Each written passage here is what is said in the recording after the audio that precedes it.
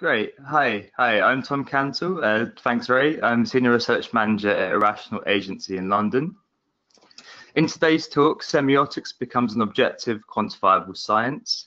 Um, the talk will highlight how small changes can make a really big difference.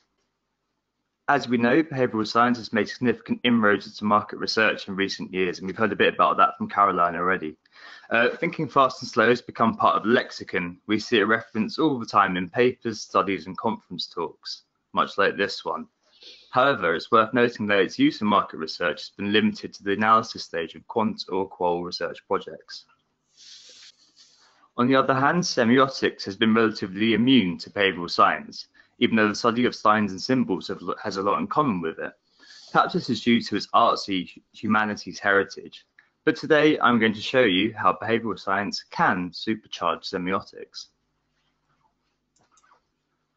But before that, let's get some definitions in place. What is this thing called semiotics I'm talking about? Well, an established definition is that it's a study of sign systems and how meaning is made. Basically, it's the study of how you understand meaning from everything around you. The interpretive nature of it guard, grounds it very much in arts and humanities. Most semioticians, for example, I've met uh, have a background in literature like me.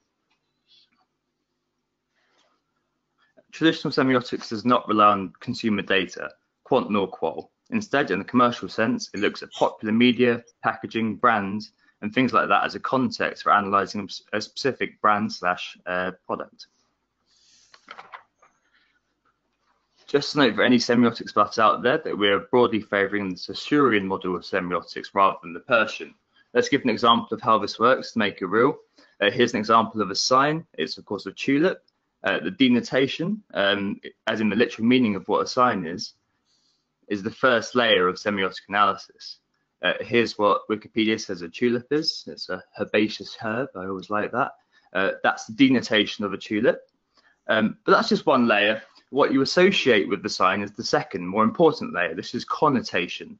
Um, so you may have seen a tulip and you may have thought of some Dutch references, for example, uh, the flag, you know, the words, the Netherlands, uh, the windmills, the clogs, tulip fields. Um, we also have some references to spring, maybe. Um, but we can also have more personal references too. So I think about my favourite footballer, Dennis Bergkamp, scoring against Argentina for Holland in 1998. Uh, you can see my passport there. I was born in, in Holland, uh, so I associate um, lots of early memories of Holland. For example, my first ever house. And of course, there's the uh, part of the It's a Small World ride at Disney, which I remember from my childhood and I, I uh, always have really fond memories of. So that's quite an abstract example. Let's move on to something which is more uh, directly relevant to market research. If we're going to look at packaging and conduct a semiotic analysis, we'd look at quite a few things. These are on the left. Um, for example, the brand, typeface, uh, logo design. Uh, let's have a look at a logo aspect. Here's a sign. It's of course a leaf. Uh, in the old days, um, I'd be on the stage, so I'd be able to ask people, what does this mean? Uh, but people have told me in the past this kind of means freshness, mintiness. Does anyone, uh, can anyone think kind of where this leaf comes from? Where, where have you seen it on a brand before? It's on the Tropicana bottle, um, so it's not probably nothing to do with uh, menthol or, or, uh, or uh, mintiness at all. It's more to do with freshness, perhaps. But you can see straight away that symbols can be interpreted in, in lots of different ways depending on context, and small differences can mean a lot. This diverse range of things um, shows a few of the troubles that semiotics faces. The first is that it's highly subjective. All answers based on my own personal experiences. Uh, there's ample time to rationalize answers and interpret them accordingly. And either way, um, you know, you've got infinite options to interpret what you might think is a good answer there are lots of drawbacks for um, in in summary uh, with pure semiotics. Let's have a look at the, each of these in detail. First up, first up, subjectivity. Uh, semiotics can have some issues if you look at the uh, semiotician himself uh, through the lens of behavioral science. Egocentric bias, uh, we see our beliefs as more common than they are in reality. So if you're doing um, semiotic, uh, semiotic analysis on your own, you may believe that um, something that you think is true is more true than it is to, to the wider public. And there's also confirmation bias. So imagine that I find a theme that I really like, I can fall prey to this bias, um, favouring further information that supports that theme, whilst ignoring ignoring things that say the the opposite. So leaf uh, can be mean menthol to me uh, due to the fact that I remember it um, on chewing gum, which I have a lot. They may not mean that to you. As I, said, as I said at the beginning, thinking fast and slow has become part of the market research lexicon. With regard to semiotics, it's very much stuck, as we see here in the slow lane. With unlimited time to rationalize, any possible association could become valid. Um, my leaf um, could mean menthol, which could speak to the idea of freshness, um, and that could therefore link to uh, to, to, Tropicana. Uh, that's quite a tenuous link, but you can rationalize it out if you have enough time to do so. So this infinite option for interpretation has been known about for a long time. Umberto Eco uh, said here, we can imagine all cultural units as an enormous number of marbles contained in a box. By shaping the box, we can form different connections and affinities among the marbles. Um, so you've always got uh, the ability to make anything linked to another thing without a guideline or a framework in place. Given the issues we've identified, um, how can uh, this be helped? Well, uh, science to the rescue uh, in the form of cognitive semiotics. So cognitive semiotics integrates the substance of cognitive sciences with the substance of semiotics. And it's actually a real transdisciplinary area of academic study, by the way. It combines semiotic analysis, like we've just seen and done, with experimental and ethnographic approaches. As we see in this Venn diagram, cognitive semiotics sits between the world of semiotics and behavioral science. As we've seen, semiotic studies signs, symbols, and meaning. The researcher or semiotician tends to figure out the meaning alone and doesn't really take into account consumer experiences. In contrast, behavioral science studies non-conscious influence, amongst other things, and uses mixed methods to help quantify analyses and allows the consumer uh, to have a perspective, making it more objective. Cognitive semiotics then helps us uncover the mental architecture of meaning and does this by examining the mental shortcuts embedded in signs and language. Looking at things through this lens then, the signs and symbols and semiotics become the visual shortcuts that help us navigate the world around us. These can be called heuristics, um, which are the mental shortcuts which help us deal with the overwhelming amount of information that comes, that comes at us at a daily basis. The mental architecture behind these heuristics tends to be rooted in your childhood. You see a red traffic light, you know from an early age that it means stop. Uh, but mental meaning uh, continues. So a red traffic light could mean, you know, a red light for a race if you're an F1 fan, or maybe the traffic lights near your house, or maybe, you know, the red traffic light which meant you failed your driving test. In any case, all of these things take a lifetime to build an associated network, but they're activated in an instant, thinking fast. We need cognitive semiotics to help us explain the fast and slow part of the human brain. The amount of information we receive on a daily basis is staggering. Your brain is constantly at work. Visual cues tend to dominate decision making uh, because it's often the first sense to activate, especially when buying products. That's what you normally see. You normally see something first before you act.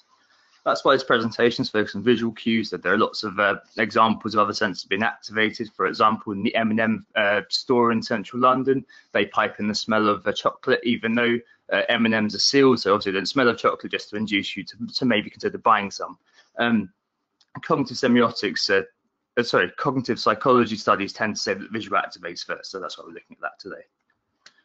Right, that's all the theory done. Uh, let's try and make this real once more. So qual obviously lends itself very strongly to semiotics, clear synergy, I love doing it, but today we're going to be quantifying semiotics. How do we do this? Well, we draw on cognitive psychology experiments to validate our hypotheses about certain ideas, using time response methods to simulate how people think fast and make meaning in the real world.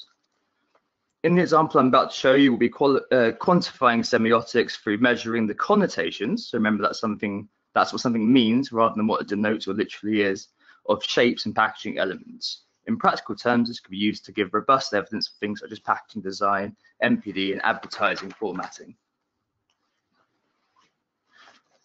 For this talk, the experiment was to investigate small differences in form, like uh, shapes and product packaging created a real difference in terms of meaning people took out of them. Here's how our panelists would have seen the uh, seen the experiment. This on our own platform um, they press the F and J key to say which one of the two things they were testing they associated the word with. Uh, we were testing, sorry, uh, they associated the word with. We changed the stim stimuli a few times, and I'll give you the results in a sec. Though they had to do this under time circumstances. That's little bar at the top. Uh, we call this association polarizer. And uh, the words we tested were sourced from several experiments done over time by different psychologists dating back to the 1920s. So here's the first set of results.